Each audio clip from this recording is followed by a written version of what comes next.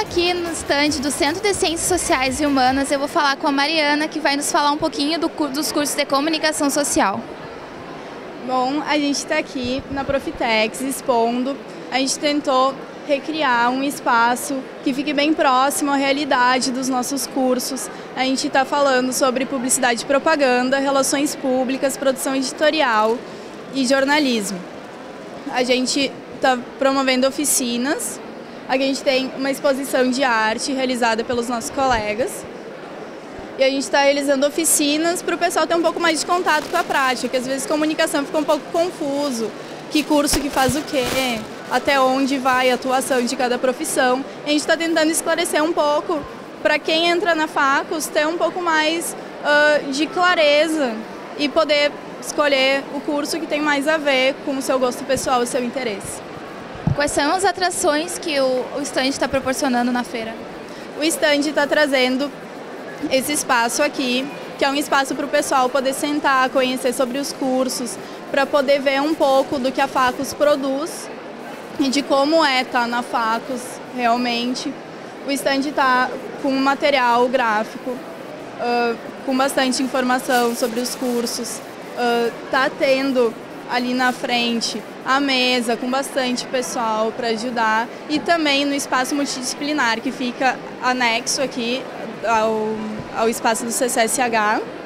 A gente está tendo oficinas, que deve ser prática, prática dos quatro cursos, o pessoal ter mais contato mesmo, ter um pouco mais essa noção de realidade, que é a proposta que a gente está trazendo para cá, trazer clareza com interatividade. Mariana, como é que está sendo a procura aqui no início da feira, do pessoal, dos alunos? Agora, nesse primeiro turno de feira, está bem movimentada aqui a entrada. O pessoal está querendo saber bastante. O curso mais procurado até agora é publicidade, depois jornalismo o pessoal a gente vê que não conhece muito os outros todos os cursos da comunicação, como relações públicas e produção editorial, mas eu acho que essa é a oportunidade da feira, né, de poder conhecer. Às vezes o pessoal acha que é publicidade, quando vê não é, é produção editorial que ele quer fazer. E é legal da gente poder mostrar esse espaço e mostrar a facos, ter mais abertura, que às vezes fica uma coisa meio escondida assim. É legal da gente poder ter esse espaço. Eu estou aqui com a Juliana, que vai nos apresentar um pouquinho sobre o curso de Relações Internacionais. Bom, o curso de Relações Internacionais é um curso recente ainda na UFSM, mas estamos desenvolvendo diversos projetos, tanto na área de pesquisa e extensão, como uma parceria com o Exército, fornecendo uma, qualidade, uma qualificação grande para os alunos que ingressarem. É um curso que está tendo candidatos por vaga elevado e nós aprendemos línguas, além das matérias específicas de relações internacionais, um pouco de economia, direito, história. É uma formação ampla, uma formação diferenciada e um profissional que com certeza vai ter a sua inserção no mercado de trabalho, tanto no Brasil quanto em outros países, uma carreira com certeza internacional. Como é um curso novo, como é que está sendo a procura dos alunos aqui? Bom, nós estamos recebendo diversos alunos aqui que vêm saber também o que é o curso, porque é uma área nova no Brasil, não só um curso novo na UFSM. E a procura está sendo grande. Nós esperamos que isso influencie na, nos, uh, nos alunos que venham fazer o vestibular uh, posteriormente. E o curso de Relações Internacionais, uh, pela procura, está vindo também alunos da Unipampa, da UFPEL, por transferência. Então quer dizer que o nosso curso ele tem uma qualidade, tem profissionais, vai formar profissionais com qualidade, que saibam atuar em diversas áreas. É um curso multidisciplinar e tenho certeza que as pessoas que fizeram vestibular para RI não vão se arrepender. Um dos espaços mais movimentados aqui no estande do CCSK é do curso de Direito. Eu estou aqui com o Thales, que vai falar um pouquinho para a gente sobre o curso. Tudo bom? O curso de Direito ele é um bacharel em Direito.